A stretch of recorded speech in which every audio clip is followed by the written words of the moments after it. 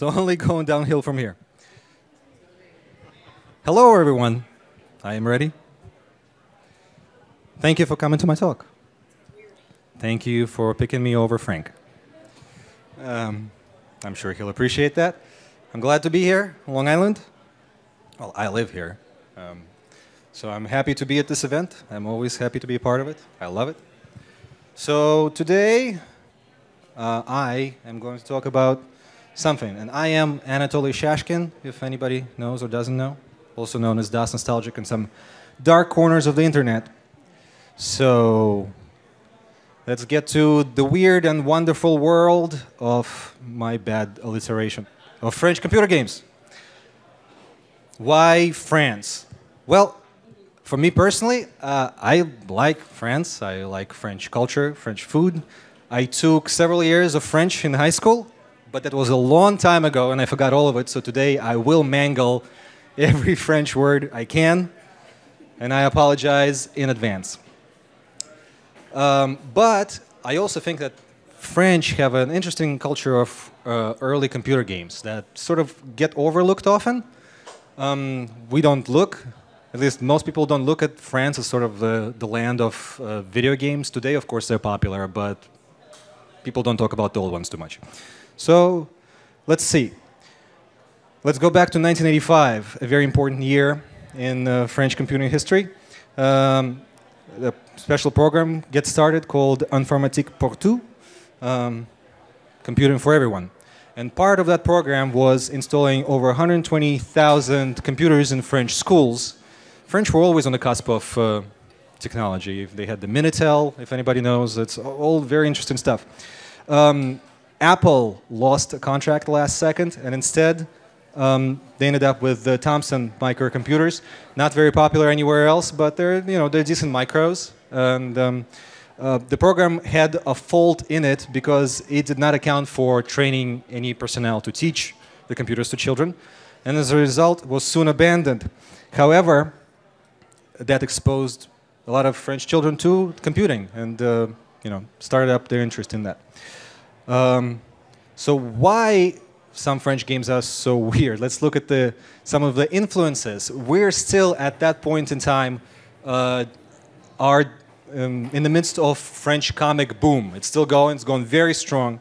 Everybody's reading them. All the kids are reading them. All the adults are reading them, and it's a pretty wide array of topics. Like we have the wacky comedy stuff. We have creepy slash sexy sci-fi. I don't know what that is. Um, historical adventures, um, grisly horror. Um, all of that, you know, is permeates the culture. And a lot of the French games are very comic book inspired.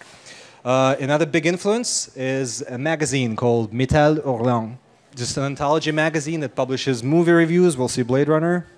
I wonder what review they gave that. Uh, and uh, they publish everything reviews, short stories, comic series by acclaimed artists, now acclaimed artists, um, on a variety of topics, as you can see.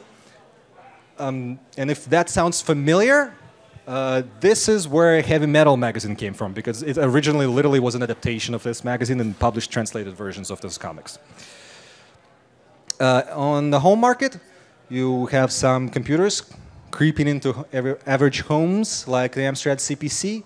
Um, not a particular, um, not a particularly popular machine, um, sort of like a Spectrum uh, kind of thing, a bit more powerful. But France loved those machines. About a third of all the sales throughout the entire Europe account for France.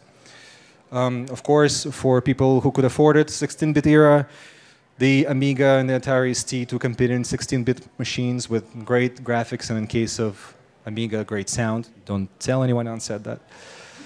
Um, and of course, once those machines failed to uh, modernize and the IBM PC sort of rose from being a machine for spreadsheets, uh, IBM PC and MS-DOS are taking over. Today, unusually for myself, I'm going to be covering the variety of platforms, so every time I'm going to show footage from some game, or a shot in the bottom right corner, you'll see the indication of the platform. So let's get to it. Uh, now we're just going to take a look at a bunch of wonderful and weird French stuff. Let's start with something familiar. Ubisoft, right? Everybody knows what that is, or as it was known back in the day, Ubi Soft. Um, very 80s. Not a secret to most people, I think, is their first game a Zombie. Uh, originally for Amstrad CPC, you see the Amiga version here. About four people uh, who are locked down in the mall to fight off an army of flesh-eating reanimated corpses. If that sounds familiar, it's of course an adaptation, an unofficial adaptation of George Romero's 1978 classic Dawn of the Dead, for which the game didn't only take its poster and the story and just about everything really, but also stole the title. It was called Zombie in Italy and some other territories. Right? Okay, well, Ubisoft is not ashamed of this. It's like a cute thing in history, right? They've only even recently um, sort of honored it with a ZombiU game, right? I think I didn't play it, uh, but interesting. So what did they follow up follow it up with? Um, there's another game, Hurlements.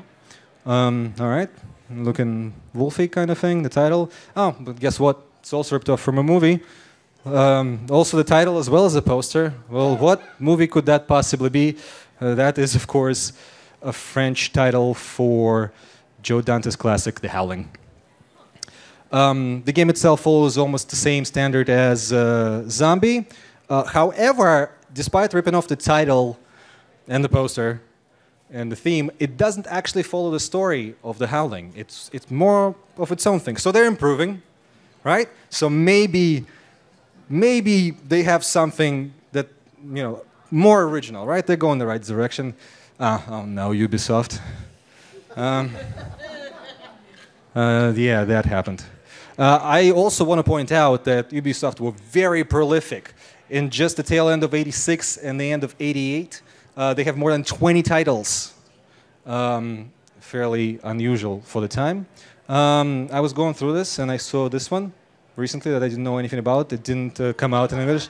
Uh, it's called Manhattan 95, right? And for to me, at the first glance, it looked fairly generic. Like this didn't really look like it's ripping anything off. It looked like an amalgamation of things, like like like like a like a B or C grade or Z grade uh, 80s action flick, right? The you see Manhattan, right? This might be like something of a Stallone. Uh, there's a mullet, right? It looks generic enough. So it did look that way until I started up the game, and I'm going to let this roll. This is fairly long, but I just want you all to take it in because and see if I had if you're going to have the same reaction as I did.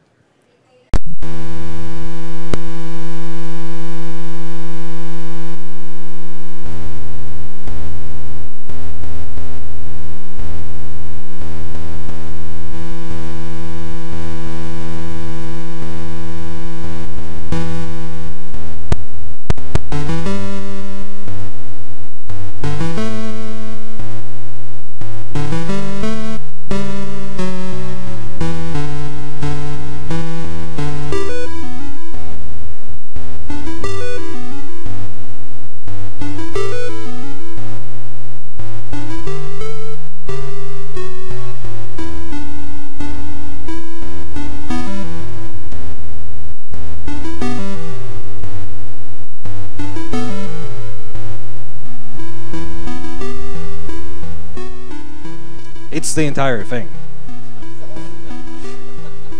I mean, you'd say so, but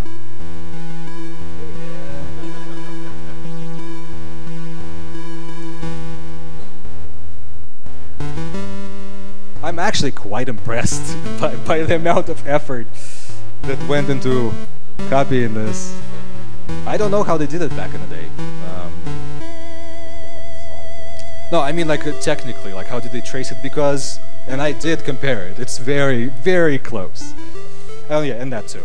Um, yeah, so I don't think I have to point out, but I will.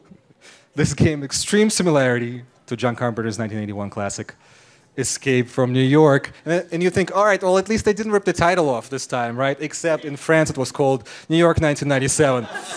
all right, Ubisoft, good. But they did improve over time, as we all know, right? Uh, and they also published other titles. And this is a series of games called BAT, Bureau of Astral uh, Troubleshooters. Uh, some of my favorite box art actually on this. This is gorgeous to me. And these are sort of like open world RPG adventures where you have a mission and you sort of go around places, you talk to people, you, um, hunting down your targets. I mean, not too weird, right? And it's all comic booky. The panels actually change as you go along. The layout changes. It's very, uh, very ambitious. The second game adds multiple planets and 3D vehicle sections. And this doesn't sound too weird, right? Except the agent that you play isn't capable of letting you know when he's hungry or hurt or when he doesn't understand somebody or literally just about anything. So in both of those games, you have uh, a wrist computer which you actually just have to program to, to, do all of those things. Uh, in the first game via actual commands, in the second game via pictograms. I, I don't know why, just because French. There's going to be a lot of that today. Um, let's move on to um, uh, Infogrames. Uh, along with Ubisoft, these are the only two companies that are still around uh, out of all I'm going to mention. Um, today, of course, we know it as Atari. Um, back in the day, uh, they're famous for games like Alone in the Dark, of course, a classic. You can play it on the third floor. It's being demoed. Uh, great game, not too weird, very ambitious. Uh, one of my favorite games of all time. It's cool. Uh, but they do have one, one really, really weird game. Uh, that game is Eternam, which is currently available on both GOG and Steam, surprisingly. And it's hard to describe what it is, uh, but it's an adventure game.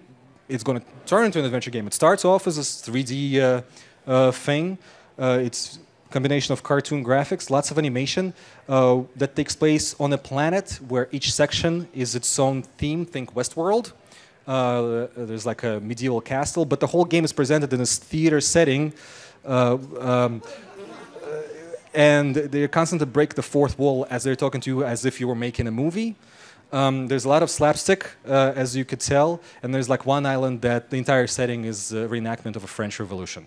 Um, if that sounds weird, it's not even the tip of, it's not even like, I'm not even covering most of it. There's a great review of that uh, by Ross's Gaming Dungeon on YouTube. Take a look at it if you're interested. Oh yeah, stuff like this happens in that game. Um, yes. So yeah, those kind of things.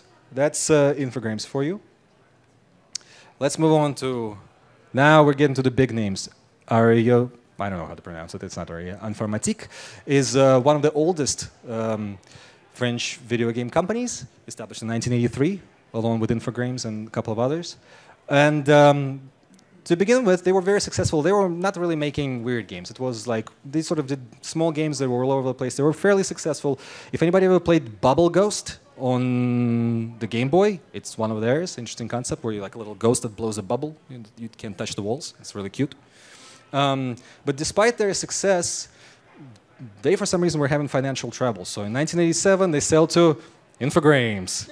Um, but that just feels like they were just waiting for the moment to get the money in because they instantly establish a label called Exxos to make games. And while under that label, they say that Exxos is not a company, Exxos is a deity, a god, and uh, Exxos just beams the games through the designers um, into, into being. Uh, they're just doing his bidding, they're just merely the vessels. Um, and uh, each time they released a new game, they publicly sacrificed one of the machines the game was developed on. Like you'll see here. Uh, oh boy. Very much so. Oh, yeah. There's like a half hour long video of this on YouTube. Check it out. Oh, yeah. So, what games did they make? Well, their first title, they started strong right out of the gate, is a game called Captain Blood. A very successful game where the story is you are Bob Morlock, the programmer, who works on a game called Captain Blood, a space trading sim. Lightning strikes, and you are transported into the world of your own creation where eight clones are made of you, and they're draining the life out of you. And now you pilot the ship called the Ark, and uh, beam probes down to the surfaces of the planets using a genetically modified dolphin. Um, to talk to alien species using pictograms. Actually, the entire game, not the entire game, but the big part of the game is talking to different alien species using pictograms, where each pictogram stands up for a word, like you see here, me, no, like you. Um, and each of the alien races actually has a different dialect. Like some talk only backwards, some always lie. Um, that's a game. Uh, big success, very French. Uh, they move on to this thing called Cult. It's an adventure game, I think, um, because playing it is like, I don't know, you'll see. This is literally the very beginning of the game, and trust me, it doesn't get any less weird from there. Um, the only thing I can talk, tell about it is um, I'm usually against renaming uh, games in other territories unless it's like something very specific. But the game is called Cult originally, and it's one of the few cases when when it got translated for the US, it got a better title because over here it's called Chamber of the Sci-Mutant Priestess. Great title. Love it. Um, Purple Saturn Day. Well, um, Epyx was uh, Exxos's publisher in the States, and if you know anything about Epyx early on, they were famous for sports games, winter games, summer games, whatever games, however many games they, they made. So, yeah, Purple Saturn Day is what happens when you ask a bunch of weird French people to make you one of those games. What kind of competitions were there in the Purple Saturn Day? Um, this? Okay, right. Um, well, what eventually happens is uh, Exxos people um, have some kind of a falling out with Infogrames, so they leave and they instantly set up Cryo Interactive Entertainment, where they just sort of carry on. Their first title, now it takes them two years to get there, is a very ambitious title, very good game actually. Um, it's Dune. 1992's Dune, uh, a mix of um, adventure and strategy. It's a strategy game that controls like an adventure game, uh, very stylistically inspired by the David Lynch's adaptation of the book. Uh, it was canceled twice by Virgin, who stopped giving them money and said, stop working on it. But they kept working on it. So eventually, when they brought the finished Game 2 version, they were like, oh, well, might as well release it. And this is the reason the strategy game that came out half a year later is called Dune 2. It wasn't supposed to be. Um, Cryo just beat uh, Westwood to the punch and Virgin had the license for, for Dune, so they published both. Um, yeah. Uh, great stuff. Uh, an amazing game, actually. A very hard, beautiful presentation. Uh, this is like sort of to me the quintessential French game. Innovative in gameplay. Uh, you can actually play it, which is actually not the case for most of the games I'm going to be covering here. So don't, don't get too excited. Um, but yeah, beautiful game. And so they followed the suit. Same year, because of the uh, Dune's development, they also released KGB, a detective adventure game with a time rewind mechanic. Um, set in a, still to this day, a very unusual setting of the Soviet Union. Cool. Uh, of course, uh, pre-rendered 3D racing game, uh, Mega Race, just a simple racy shooty thing, just fun. No big concepts, except for more of a technology uh, involved. This is also one of the games that you can try on the third floor.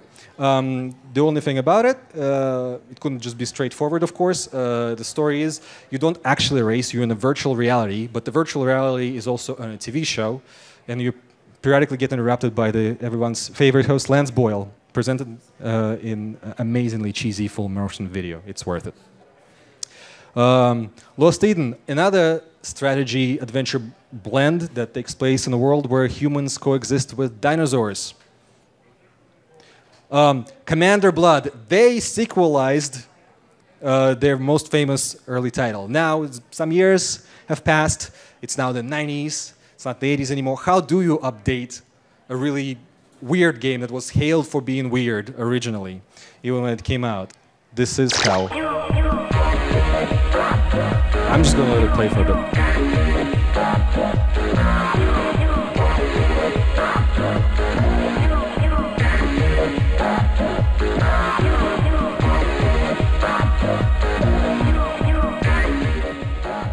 I could do this all day. It's actually like five minutes recorded. There's some gameplay too, but I, I, I urge you to look it up. It's um, it's it's something.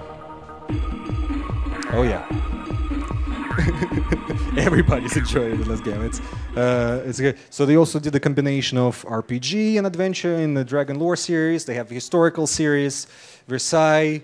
Um, they have like sort of historical fantasy and Atlantis series. They um, they even made games that they th thought were weird.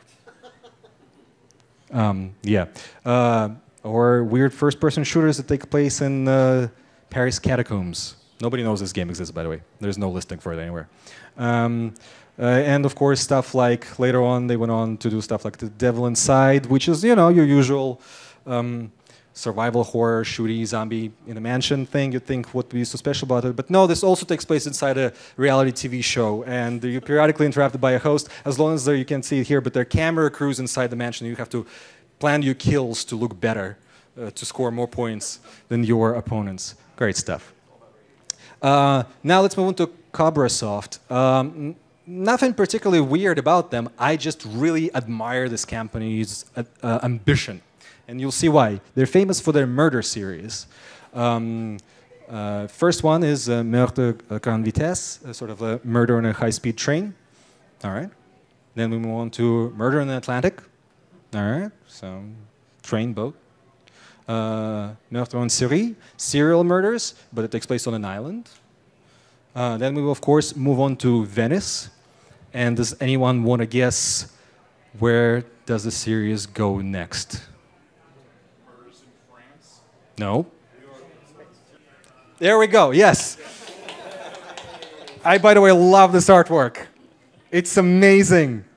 Um, yeah, I think more series should do this. I'm still bummed out that Leisure Suit Larry didn't go into space. Um, yeah, Silmarils. Uh, fairly well-known company, uh, obviously named after Silmarillion. Um, Silmarillion? I don't know not big on fantasy. Um, but so they started off right off the bat. They started off with this game called Mad Show, another concept of a, of a TV show where um, everybody competes with different alien races. Uh, just essentially a collection of mini games that looks like this. All right. Um, but later on, they um, they did some very interesting experiments. Like for example, one of my favorite games of theirs is Transarctica. I love this artwork of a train. It's, it's beautiful. However, this is not an original artwork. It's licensed. It's been on some metal albums, and you can even buy, to this day, buy a print of it uh, at the artist's website. It's, it's a great artwork. I love it. Um, but in this game, Transarctica, you are uh, a conductor of a train in a sort of post-apocalypse where everything is covered in snow. There is no sunlight, and you um, you uh, sort of travel the entire world is uh, train tracks. You manage your you, I'm going to get to that. Uh, you, you, you, get to manage your, your cars and you get to restock at towns and there's battles like sort of Sid, Meier, uh, Sid Meier's Pirates style. Uh, also open world game, incredibly hard to play, but beautiful presentation. And as you have said, you say, but Anatoly, that sounds a lot like Snowpiercer. Is this based on the same property? And I'm going to say no, because believe it or not, uh, it's not what came first, but France in the 70s, there's two different franchises that take place on trains in uh, um, snow-covered post-apocalypse. And uh, they are unrelated to each other, and Snowpiercer is based on the other one.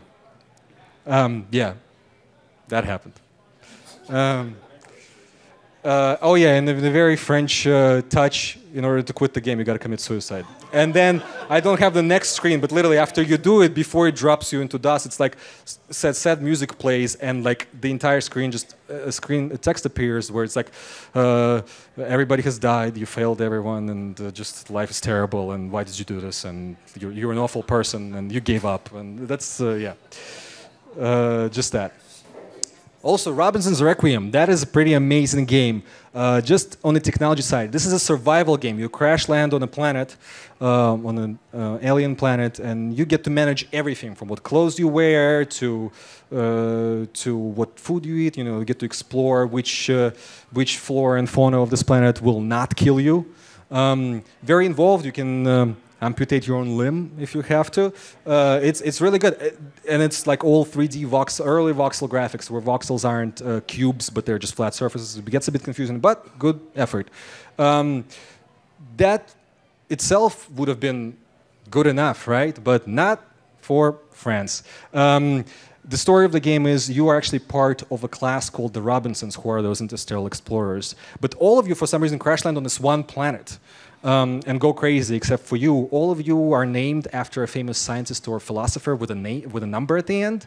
And every night you see uh, telepathic dreams from the only girl in your class who is the only one who's not named after a philosopher or a scientist. They couldn't find one. I don't know. Really dumb. Uh, but yeah, and oh, and they're werewolves, and and we're centaurs. Uh, don't have a screenshot. Um, yeah, there's even a sequel to this game. So, uh, yeah, that happened. But of course, Silmarils actually are fairly prolific. They have different series, but I just wanted to showcase one thing that they were definitely known for is their art. This is a pretty straightforward, their Ishar series. Um, is a sort of dungeon crawly kind of RPG thing. Nothing particularly special about it except the art. They improve with every game. All their games are famous for, for, for beautiful, beautiful 2D artwork. Great stuff. Um, almost none of their games are worth playing though, but, but they sure look great. Coktel Vision. All right, couldn't wait to get to them. That's one of my favorite companies like ever. Um, first of all, I just love the name of the company. I think it's a genius name. Um, and uh, they also started fairly early on, and they did a lot of adaptations of French comics, Lucky Luke, Blueberry, what have you. Um, but also early on, they were joined by Muriel Tramis, a young engineer uh, who is often called the Roberta Williams of France. And while I understand why that's there, uh, I don't think the comparison is fair to either of them. Um, their works are very different. Muriel Tramis herself is a descendant of Caribbean slaves from the island of Martinique. And that is the theme that she, inspired by adventure game Maniac Mansion, she just wanted to make her own adventure game. Uh, she tackled that theme head on right away uh, with the title Muilo, um, Mewilo, um, where you are an explorer of different islands in the Caribbean, and like a soul, a spirit of an old slave owner comes back to haunt people, and you sort of get to explore the various um, settlements and see how time affected them and stuff. It's pretty cool stuff. And this, her second game, Freedom, Rebels in Darkness, is a Cinemaware style um, action adventure where you're a slave on the Martinique who is tasked with um, setting up a rebellion. And you go around collecting your forces, avoiding guard dogs and uh, uh, guards and other unsavory characters. 1988, um, pretty cool. Um, but Muriel Tramis's works are very diverse because at the same time as this, she was also doing erotic games like uh, Emmanuelle or Geisha. Oh yeah, I was gonna say this. It's a presentation about French games, so a, a given. Um, fascination, um, an erotic game with a very strong female protagonist. Um, she also co-created Addy series of educational games, also known as Adibou. There's like a ton of those games that's been around since the 80s. Yes, sir. Didn't they, you mean like Addy Boo, is in like the little guy with the red... Yes, I'm going to get to that. I, I have like some of the, I think I still have some of the um, games of it on PC. Like they were in like late 90s, early 2000s. Yes, but they started in the 80s. There's so many games in this series uh, because notoriously educational games are not very well documented. I don't know how many there are, but this series outlived both Coktel Vision and like every company that owned it since. Uh, in fact, one of the last ones I could find was from 2009 on the Wii U. It's still going. Somebody owns it. Um, but of course, uh, what most people know Muriel Tramis for is the Goblin series of games that she co-created with the French artist and animator Pierre Gilhodes, where you control multiple goblins with different abilities to solve nonsensical puzzles. The uh, amount of eyes in the title decreases as the amount of protagonists decreases as well, but games actually become better. Um, there's three games in this series, but um, to be honest with you, uh, and Tramis's magnum opus is actually Woodruff and the Schnibble of Azimuth. Amazing title. Um, in America, it was retitled The Bizarre Adventures of Woodruff and the Schnibble, which I don't think helps much. But it's this big CD-ROM adventure game. Uh, unlike Goblins, you can walk around. You don't have to solve puzzles in a particular section. It has full voiceovers. Um, this is this guy is actually called GF Sebastian in the in the English version, surprisingly, where they literally so they can have a line. Where can I find this GF Sebastian in the game?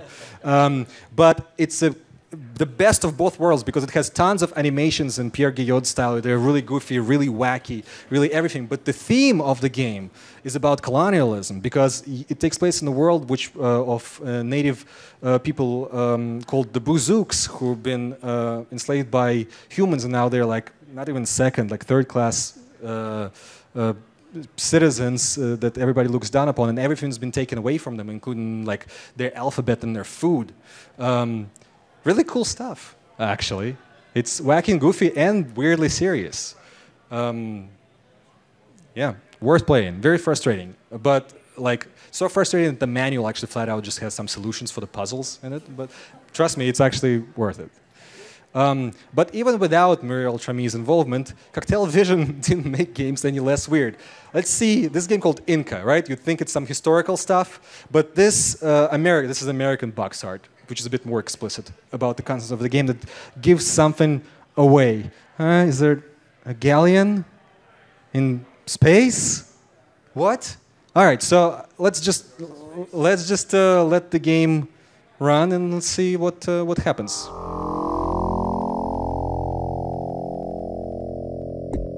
uraquchataytanninchis papanchis wawankuna allinta killallaqtinku kaylaqtanchishpi payqa yacharanña intinchis papanchis manam yacharqancharinqa ruparinqa watay watay tawantinsuyunchis inkakunan rimasyanku ninta hamunqa sunquyninta tumiwanmi rikch'arichikunku much'uyqa rimunqa llaqtanchispi Alpapis khatatamunqa kay alpaman kanchuhina, I actually personally feel this is really cool for 92. But so far so good, right? It's all right. Historical, right? You get some actual language. Very cool presentation.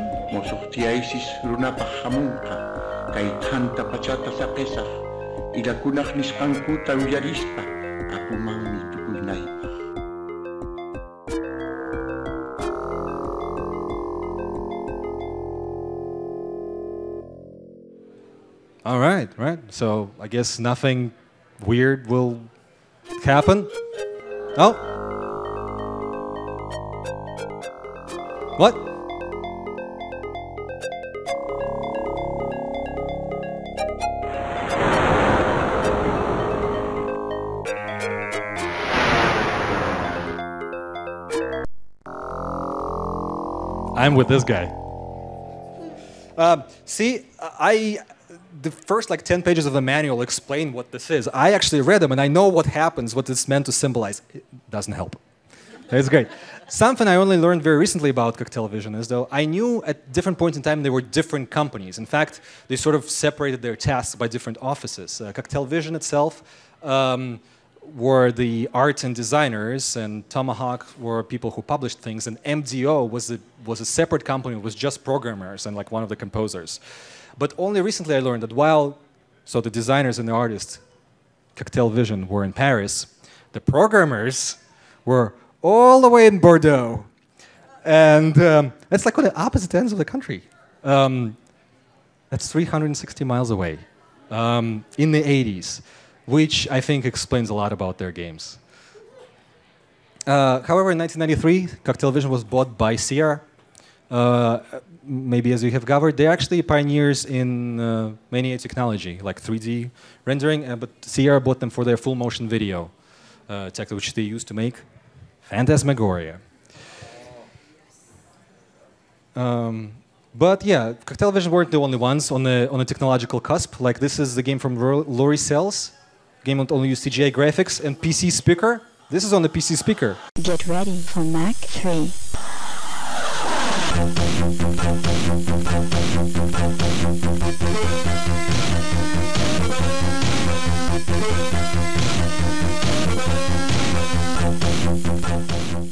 Not bad, I'd say, right? Pretty good. French were always on the cusp of like a lot of technological breakthroughs, uh, or like this company, uh, Lankhor. Um, they're actually famous for their detective adventure games, uh, Mortville Manor, uh, Island, and the Black Sect. Nobody knows this one because this one didn't sell. But um, these are all sort of like adventures that take place in real time. You get characters, they're detective adventures, murder mysteries, where characters move and you get to talk to them, you get to question them. Uh, the first two games used speech synthesis to voice all the dialogue in the games. What did that sound like? Let's see the PC version of the um, uh, first title. Février 1951. Profession, détective privé. Le froid fige Paris. Yeah, it sounds a bit muffled, but you think about it, it's the year is 1988. You have an IBM PC, which mostly is used for spreadsheets and word processing at the time. This is pretty good, and high res graphics too. So this is pretty impressive stuff. Yeah, no, pretty cool. But wait, there's more, right? So I was concentrating on um, really weird ones, but of course, there's all those games that, that everybody knows, or at least a lot of people know. Um, um, another world, of course, also another game that you can try upstairs, but you can play it on anything these days. The 20th anniversary edition, you can play it on Switch, I think, uh, the most recent release. Great game. Uh, great game. Flashback, of course. Uh, Rayman, that's when Ubisoft found their success in 95 and they stopped ripping people off. Um, uh, Little Big Adventure series, uh, this is the second game here. Great stuff. Uh, Heart of Darkness. Nobody knows that one, but it's a great game from the guy who made Another World. Um, worth playing on PlayStation and Windows. Amazing game. Really hard. It is really hard. If you thought Another World was hard, this game is like five times harder. Omicron, the Nomad Soul, first David Cage's game. I, I don't like David Cage or his games, but this is like a quintessential French game. First of all, Bowie is in it, and you go to a bunch of his concerts. But the whole premise of the game that you were the player uh, inhabiting uh, you are the soul, the traveler and soul that inhabits every character, which when they die uh, gets passed on to the first person who discovers your dead body. And that's how the game goes on. It wants to be an open world adventure, first person shooter, a driving game, a fighting game. It fails at all those things, but you can't really. Uh, but Bowie. Uh, Bowie at the time when nobody really cared about Bowie either. So it's like it's like a post Lost Highway, but pre the new generation rediscovery. So you know, interesting. Uh, original songs too. Um, uh, Beyond Good and Evil, great game, right? Um, so uh, um, yeah, uh, that's a great game. If actually, if anybody didn't play this, it's worth it. This is like one very modern because it's recent, right? And it's very playable and very French. It, it, uh retains a lot of that French touch, despite uh, sort of doing away with uh, all like the French weirdness that uh, uh, they eventually gave up on because they figured out the games might sell. Um, uh, so why am I talking about this? Well, it's obviously it's because I like French games, right? So I love them. I love those weird experiments and everything. And I would like France to be more recognized as a sort of a place of early computing gaming history. However, I'm also talking about this because I think um, I find that often the retro gaming history discussion centers almost exclusively on either American output or the Japanese output. And I'm glad that it's happening. I'm glad that we live in a world where everybody knows that Super Mario Bros. 2 is Doki Doki Panic. Um, however, not a lot of this stuff gets brought up. And also, a lot of the stuff gets lost. And people from those regions, because they're following the same conventions, like even people in France talk about American and Japanese games. Nobody really talks about French games. Sadly, um, a lot of the games I showed did have English localization. That was another thing. Like some of them, like Goblins, of course, are uh, very well remembered by, by many. But yeah, like these games I showed, they're not even that obscure because they have English uh, translation, so the spread is wider than the things. There, there are games from other regions, like Spanish games. Most of the Spanish games have no English localizations, and they're like almost gone. So like, you know, we still haven't discovered everything. We lost so much. And uh, prime example of this is just earlier this year on Twitter. This person posted up. Did you know that there was a, a, a game on the music City of, in, of this artist, uh, Etienne Daho, in 1996? I did not know that. So I bought it. Um, and uh, uh, yeah, it says like in the very, very tiny thing at the bottom, uh, it, says uh, a game compatible with Windows 95, which is not a lie, but it's a DOS game. Great. Um, but yeah, I'll also he's a very recognized artist, like a really interesting thing. I listened to it and not my thing, but I played the game, and it's an autobiographical game. Um, where you play as Etienne as he uh, and go through his childhood and um, youth, And um, apparently, I don't know how autobiographical this is, but uh, in the game, a mermaid appears to you and, uh, and uh, tells you that she is about to teach you the secrets uh, of life's little pleasures. And the pleasures are as follows um, eating some honey, uh, cutting the school to go swimming, um, underage drinking, um, finding love. And at the end of the game, you get to rediscover your childhood innocence through a very heavy handed metaphor. Um, is, it, is it good? I mean, no, but literally, like, nobody knew this existed. This, uh, uh, I had to order from uh, French eBay. Um, because nobody talks about it, and it just took this one person being like, hey, and by the way, this game is now playable on the Internet Archive and everything, so you can check it out for yourself. Um, it's called Eden Dio. Uh, it's in French, but you know. Um, so yeah, this is this is the weird and wonderful world of French games, and who knows how many treasures there are. And I would uh, like to encourage everybody to dig in, to look online, talk to people if you have French friends, or just people from other regions. Like there's plenty of Spanish games out there that nobody talks about, and everything. So yeah, uh, I would like to uh, credit um, this book, Épopée, uh, published by Hardcore Gaming 101, uh, which is a collection of interviews but with a great intro. And it helped me um, a lot in preparation of this talk, uh, as well as website MobyGames, from which all the screenshots and artwork came from that weren't for DOS. Um, and that's me. I'm Anatoly Shashkin. You can find me at DOS Nostalgic on Twitter, DOS Nostalgic on YouTube, DOSNostalgia.com, and uh, DOS Nostalgia on Facebook. Well, thank you all for coming and for staying and for asking questions.